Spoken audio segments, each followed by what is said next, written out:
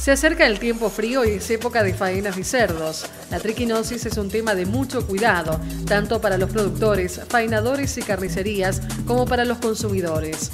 En esta nota, el subsecretario de la Producción recuerda las normas básicas que deben seguirse sí o sí para consumir carne de cerdo con seguridad. Recordamos que, se acerca el invierno, que es la época ideal para, para producir facturas caseras y que es una cultura muy arraigada en la zona y que habría que fomentarlo. Pero también tener el recaudo de, hacer los análisis de triquinosis. O sea, cada faena, aunque sea casera, eh, se acerque con una muestra de lo que es entraña, que conoce la gente de campo, que es eh, el diafragma, o sea, la parte carnosa que divide lo que es el pulmón con lo que es la parte de vísceras intestino. Eh, acercarse acá a la Secretaría de Producción eh, y a Bromatología de Maipú, que se hace eh, el servicio gratuito de lo que es eh, el análisis de, particulares de lo que es la triquinosis por digestión enzimática.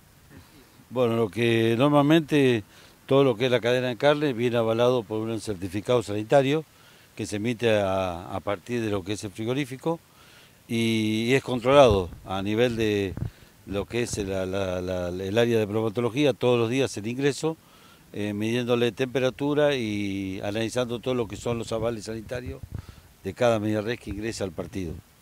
A su vez eh, se hacen estudios eh, epidemiológicos a nivel local, como, para tener un, un, estudio de la circulación de carne a nivel local, que lo que vende cada comercio. Claro, recordamos que el año pasado, en un país, partido vecino, no acá en la, municipalidad de Maipú, se detectó un, lote, un brote de, tiquinosis. Eh, recordamos que sí o sí todo lo que es eh, consumo crudo, que son las facturas, jamón cocido, jamón crudo y todo lo que uno elabora generalmente, eh, el parásito no es eliminado, únicamente se elimina a partir de 80 grados. O sea, para que la gente común sepa es cuando cambia el color de lo que es la carne en la plancha. O sea, pasar de rojo a un color blancuzco. Cuando la carne tiene color blancuzco, recién ahí estaríamos matando lo, que es el parásito. O sea, que si queda jugoso, puede tener peligro de tener la larva.